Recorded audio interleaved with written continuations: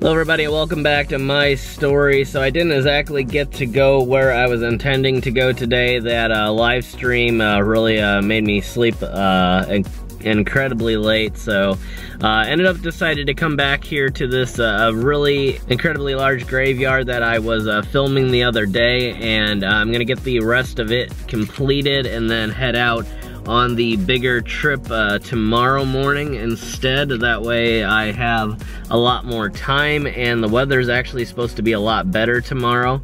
Uh, so it should be a really uh, great day of travel. But I wanted to definitely get out on the road and get something done today, so uh, here I am.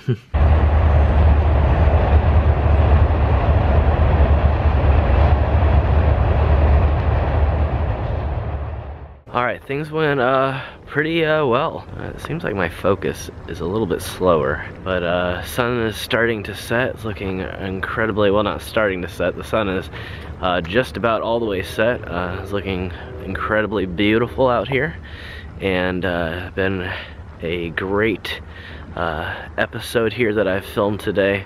Uh, and actually, I wasn't expecting to come here and find uh, some of the things that I found. Like a lot of uh, older places that I've been where the edges are kind of undefined, as you can tell in a lot of my episodes. Um, this place was uh, very much the same and I wasn't expecting that. It looked like the edges were very clean cut, but as soon as I got to the woods, I started to find the uh, destruction and uh, buried pieces of uh, people's uh, stones that had disappeared over the years. Just some very strange things things and uh, you'll see in the episode what I mean but it was uh, kind of bittersweet I guess uh, just because um, some of it could have easily been prevented. About to head back to the command center as we uh, speak here and uh, finish up the episodes that are going to be coming out this weekend on 539 Productions.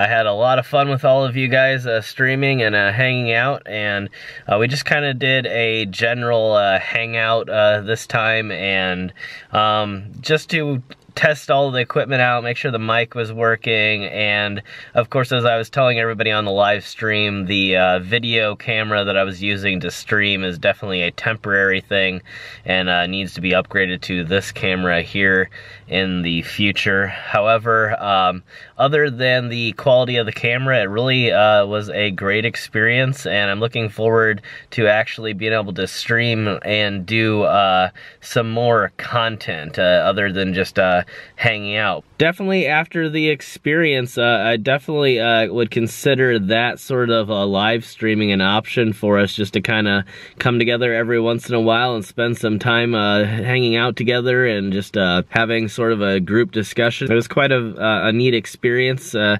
have and to be able to hang out with you guys in a more, like I said, a live situation where we actually could talk back and forth right away rather than replying to each other through the comments.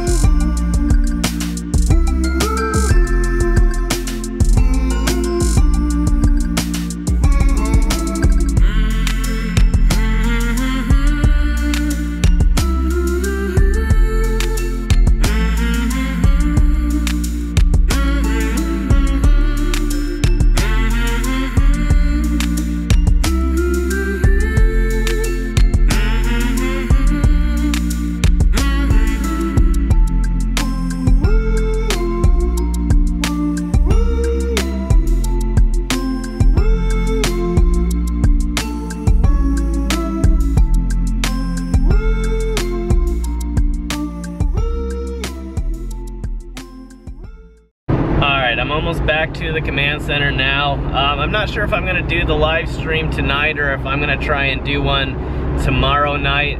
Uh, again, it was a lot of fun, but six hours of uh, live streaming until about, what were we up to, about five in the morning or six in the morning, and uh, it really uh, takes a toll on you and I really have to get out tomorrow to do uh, some more travel and uh, hit up a few uh, really cool locations. So if I'm not able to actually get on and live stream with y'all tonight, I'm gonna try and do that tomorrow and I might actually try and do like a special live stream on the uh, way home from filming if it's possible and safe. Because I definitely wanted to include everybody in these live streams. I know that some of you are not able to uh, get into the uh, late night streams due to your schedule, so I'm definitely going to be planning to do a few daytime streams as well.